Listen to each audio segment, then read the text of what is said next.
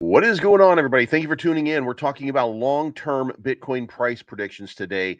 If you like the content, make sure that you hit the like button, leave a comment, and hit the subscribe button. That helps me out and pushes me up in the algorithm. We're going to talk about where Bitcoin is going to go sometime around the halving, or let's get into what's the top on Bitcoin right now. And it's a complicated process to try to figure out, but we're going to try as best we can to simplify what it is that could happen. So let's get into it. The first thing that you need to know total market cap, and here is around the range where the halving is getting ready to happen. And it's going to give or take a couple of days. Around April 27 is what we're looking at right now. The next thing is to recognize when the spike happened on Bitcoin. That is pretty simple here. We're using a daily chart right now. This red line represents the last halving. This over here represents the top. So number of days from the halving until we reached our local top over here. It's about 568 days. Uh, 568 days, 568 days roughly right here. That day on this chart is right there. all right. All right. So that's November 17 of 2025. So that's the date that we're looking at. Now let's zoom in here just a little bit onto that date and let's get an idea of what that looks like. Now, uh, we're looking at capital inflows right here.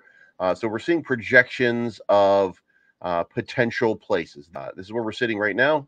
This is where we're going to be at that point. Now, uh, what I've done is I've taken a parabolic curve and I've added it from the beginning of the first big Bitcoin move to uh, the Bitcoin cycling move to the next Bitcoin cycling move to the projected next area and range. And that's going to get me right here. Now, that puts me at about a $6 trillion market cap.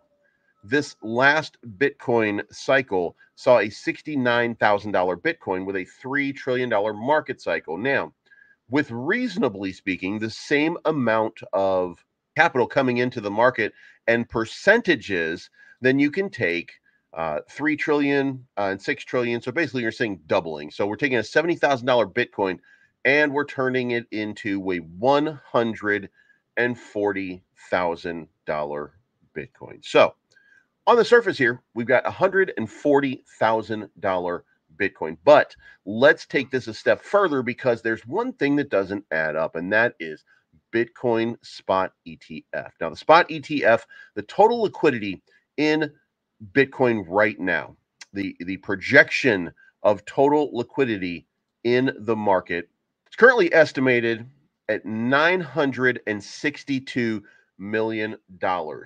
However, speculation about the level of capital coming into Bitcoin for the first year is about $14 billion in spot ETF money.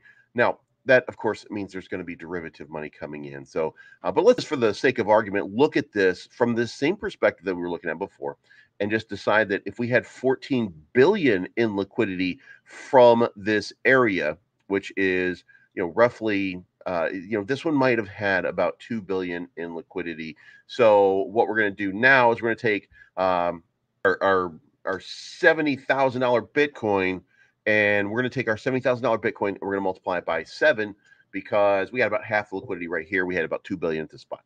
So uh, times seven means four hundred and ninety thousand dollar Bitcoin. So now. Uh, this is where it gets interesting. Now we're talking about the price action in the long term. What are we looking at in in real terms here uh, for the Bitcoin price? Well, now we have to consider uh, the difference between where we think it's going to go and where it could potentially go.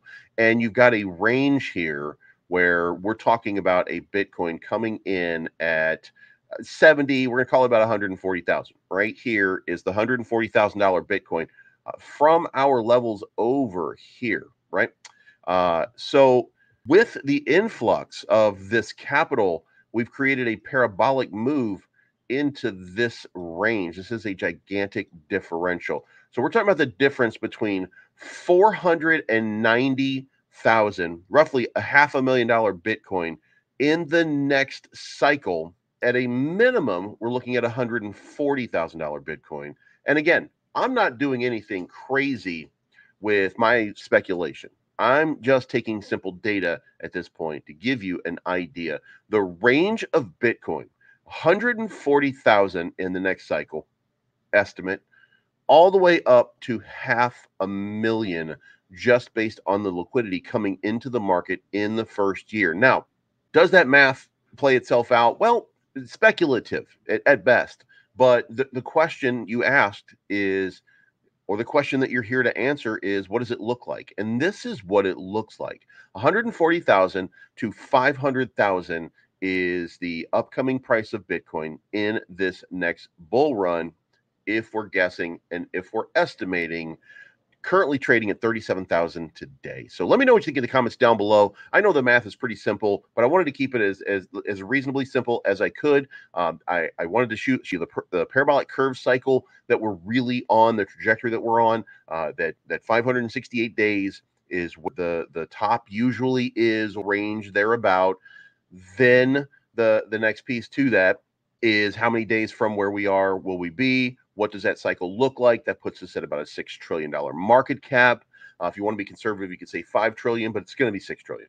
Uh, Coin ETF all but assures that there there will be fresh capital, lots of fresh capital entering the market. So uh, the question has always been and will always continue to be liquidity. And with a lot of liquidity, that means a lot of traffic and a lot of new investment dollars coming in. So um, you know it's very simple, uh, but still yet very, very complicated. But let me know what you think in the comments down below.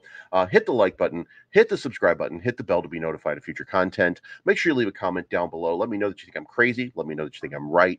Uh, hit the like button if you like it. Hit the dislike button if you don't like it. Engage with the content. I certainly would appreciate that. Thank you so much for your time. Uh, this is not financial advice. My name is Bleeves. I am always right. Thank you so much for tuning in, and we'll talk to you again very, very